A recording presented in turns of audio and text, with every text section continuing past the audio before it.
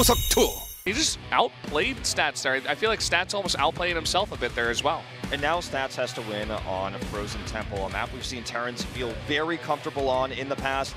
The ramps uh, in the middle of the map allow you high ground control and also pressure you can do from the low ground with siege tanks. There's so many different builds that are popular here, and Maru's been liking Cyclone pushes. He might do it here as well. He definitely could. Guys, we're going to jump into game number four right now. Maru on match point.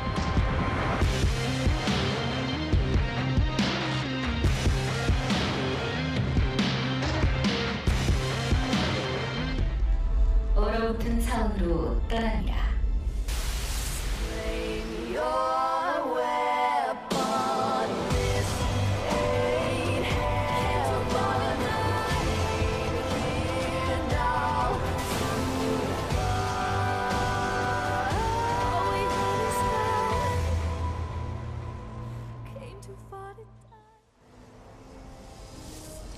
Welcome to Frozen Temple for game number four. Down here in the bottom right, the Protoss in the purple. He's got to win two in a row to make it to the round of four. He is stats.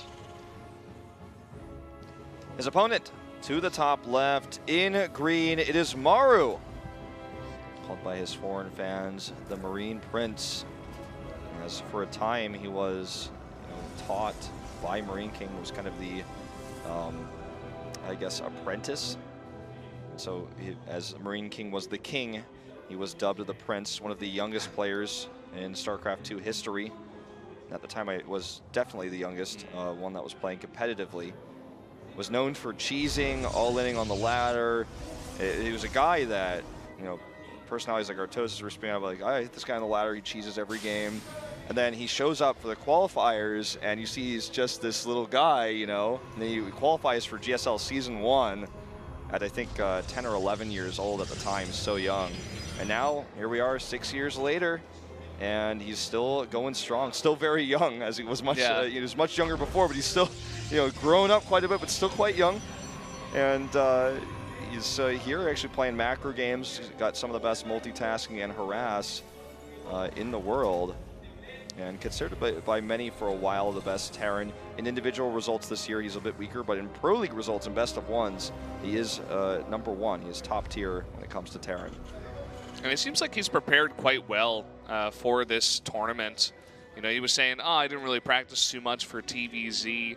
You know, not sure if that's true or not, to be honest, but uh, coming in here looking quite good and just, you know, good mechanics, good fundamentals, I'd have to say here against stats more than anything else. He's not doing any crazy builds. He's, you know, totally out microing stats, nothing like that. Just playing, you know, straight up solid games here and looking very good. We saw that probe uh, in the beginning of the game actually scout the third base location of the Protoss. And if you guys have been following this tournament at all, we've been seeing a lot of those builds, uh, you know, where they proxy the barracks there and they uh, try to get those units over there. But uh, not going to be the case this game. Maru doesn't, you know, maybe it's too obvious by this point, especially Sure. in this tournament.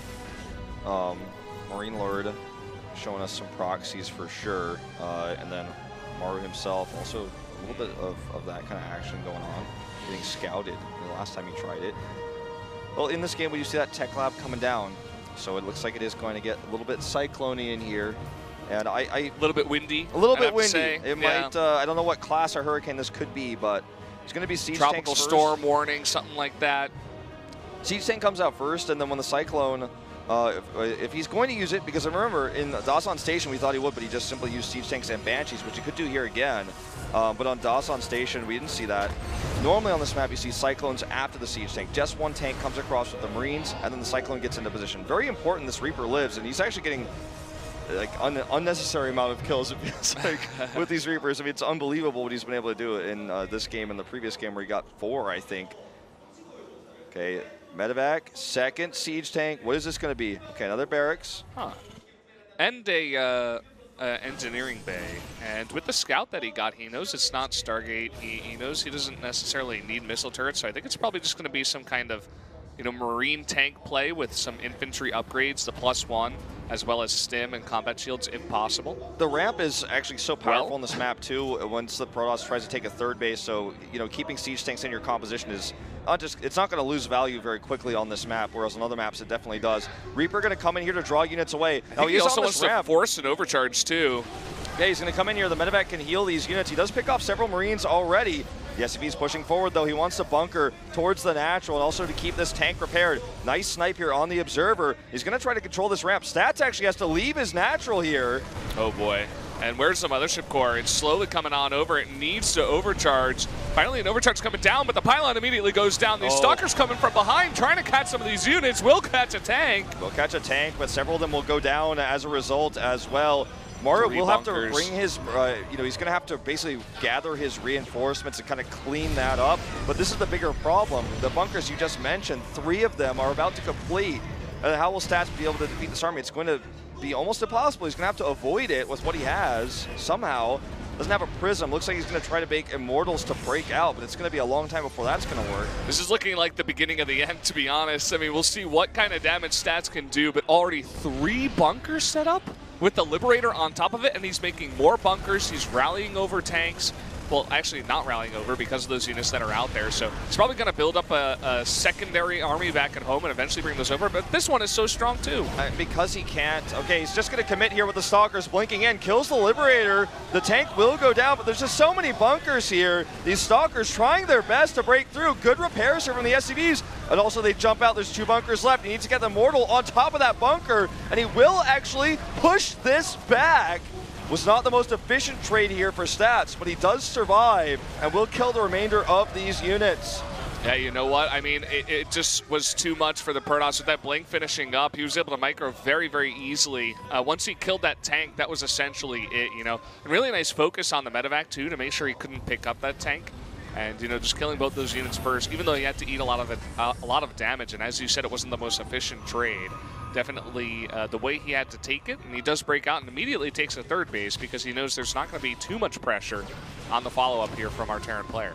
Yeah, this is a really unfortunate position for Maru. It's, it's not over. Really losing that second tank was very huge. If, without that tank, he didn't have the backbone of his army there that he needed. Um, now, if, it, basically because he decided to stop rallying, Stats couldn't attack him directly with those stalkers, so he knew he had to surround the bunkers. He did such a great job of it, and even though they were repairing SCVs, it was just so much DPS and only one tank. So intelligent decision here by Stats, and remember, Stats is the player who kind of touted Blink as the answer to this type of pressure with siege tanks and sometimes with cyclones, in this case just the tanks. Um, and he defends it here with flying colors. No stim yet for Maru. It's about to be finished. Not going to be useful in the defense here though. He's just uh, going to send these units over slowly to defend, but Stats has plenty of time to escape. He's got a third base going up, adding a bunch of gates now, resonating glaives. Maru is probably going to have to do a follow-up push of some kind or take a third base like right now. Like Yeah. right now, right now. That's the scary push. part, you know. Like he went for this early push, and uh, he didn't get too much out of it. You know, he took like a decent trade, but at the end of it all, stats definitely getting ahead. And this isn't Frost. He can't just throw down a third base and be like, "Oh yeah, okay, I'm going to be safe." I, I kind of agree with you. Maybe the answer here is to try to go for some kind of follow-up push and find some damage. I think he has to because he, I mean I think he knows that too. Not only does he not have a third CC, he's very carefully, if you notice, making sure that Stats doesn't know that. He's trying to eliminate that observer, get uh, you know the vision off, so hiding this army as best as he can before he sends it across. Now going to bring some SCVs. Yeah, I mean he's almost all in at this point. He's getting two liberators out at a time, and he's making almost pure marauder. Like half his army is going to be marauders here. You know, he's, he's committed to three tech labs. And he's just going to come over here and try to smash stats. He has a lot of Liberators. Stats going to try to hold the high ground. This is one of the reasons why Frozen Temple is so strong, though, for the Terran, because siege tanks gain value on the low ground firing upwards. Oh, nice uh, pick off here. Going to pick off these reinforcements coming across. Really has been the theme here in this game, whether it was totally on purpose or not, especially earlier on. But it's to pick off reinforcements and make sure that Maru uh, keeps his army the same size that it is while it's attacking. Two liberation zones means he can't really jump on top of this army. This little contingency of Protoss units is not enough here. Maru is actually going to commit up the ramp. One overcharge on the right side, getting a lot of value here. The bunker does not finish, and Resonating Glaives does. He just needs to try to use these Colossi to poke and, and keep this army at bay. Maru has defeated those units that are stopping his reinforcements. So finally the his War units are going to come Prison. in. Yeah. Very, very important. And now, slowly but surely, Maru is taking control of this high ground. Turrets even going down one bunker at a time, very slowly, very meticulously here. Maru is pushing in. But three Colossi now out, more Stalkers being warped in to deal with the Liberators, deal with the tanks. He just needs to get a little bit closer to that Nexus. Oh, looks like Stats might commit here. All of his Adepts in the middle. Does decide to shade in. He targets down these Siege Tanks. Liberator's getting a lot of value. The bunker, not so much. It's out of range here, but Maru still has so many units underneath.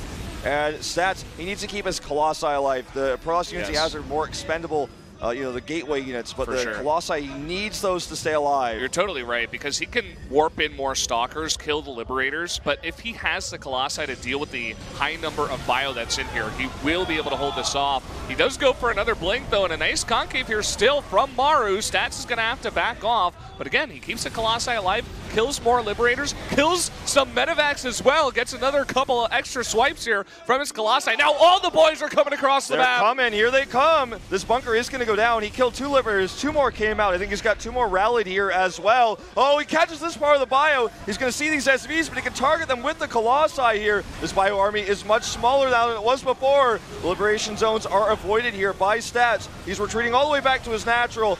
And this looks like just too much pros at this point. He's got a better economy. He's got more warpins here, and he has a defender's advantage, plus the tech advantage. Fantastic hold here from Stats. Maru, he is definitely all in here. He cannot go home, so he's going to continue trying.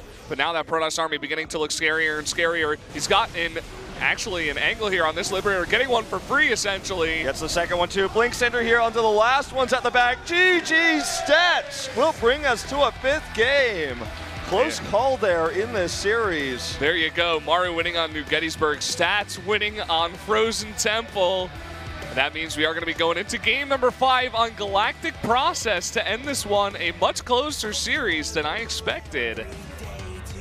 Stats just really, really fantastic hold there in that game. Insane, insane hold.